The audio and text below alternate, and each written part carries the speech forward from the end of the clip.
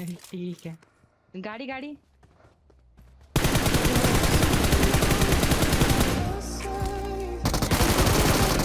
अब दिया।